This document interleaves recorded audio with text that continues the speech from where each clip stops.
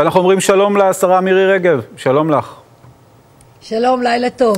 השרה רגב, על נאומים כאלה נאמר שהחיינו וקיימנו והגיענו לזמן הזה. הזה. בהחלט, אני חייבת להגיד לך כן. שהיו כמה פעמים במהלך הנאום הזה שלא האמנתי שאני שומעת את מה שאני שומעת, ופשוט אה, אמרתי, וואו, השתבח שמו.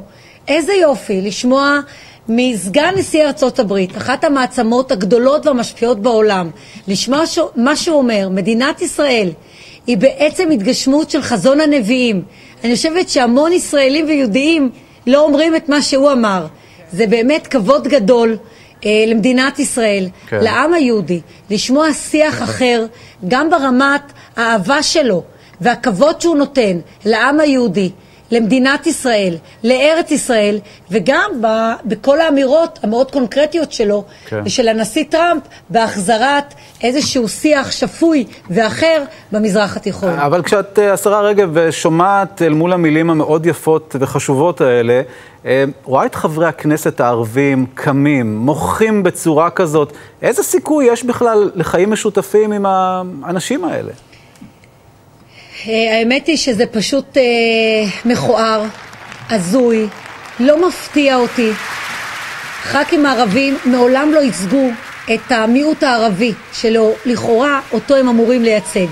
הם תמיד בעצם שימשו בעיניי כסוסים טרויאנים בתוך הכנסת. הם אה, מובילים אג'נדה פלסטינית, הם פועלים כנגד מדינת ישראל, הם עושים דה-לגיטימציה למדינת ישראל, לממשלת ישראל, הם לא מבינים את המשחק הדמוקרטי. הם אזרחים כאן במדינת ישראל, והם לא מבינים מה זה להיות אזרחים במדינת ישראל.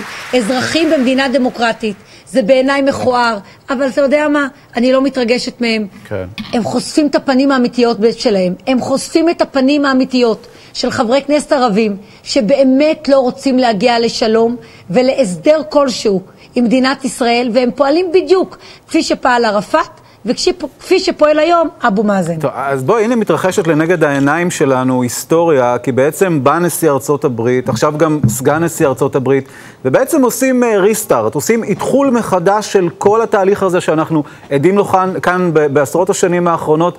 מה זה אומר מכאן והלאה מבחינתה של ישראל? זה אומר מבחינתה של ישראל, קודם כל, אנחנו חוגגים 70 שנה השנה, 70 שנה של נס אמיתי, נס של מדינת ישראל חזקה.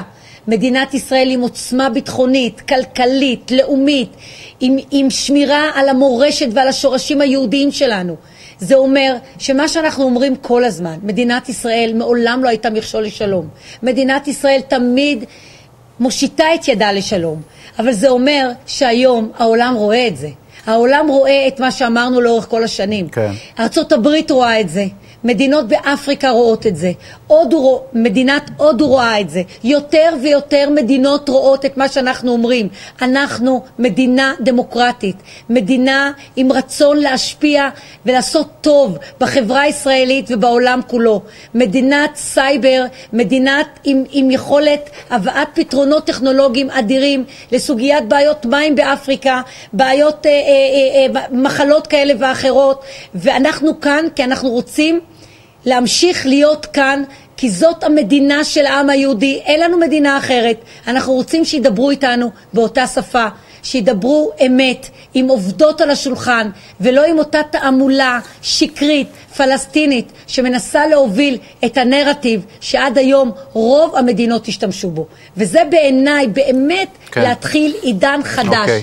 70 שנה למדינת ישראל, הגיע, מגיע לנו להתחיל כאן עידן חדש מול העולם כולו. אוקיי, והנה אולי אה, העידן הזה התחיל היום, אה, גם בנאום ההיסטורי הזה של סגן נשיא ארה"ב. השרה מירי רגב, תודה רבה. אני מודה גם לך, תודה, תודה ושיהיה לכולנו רק טוב, בשורות טובות לחיי מדינת ישראל.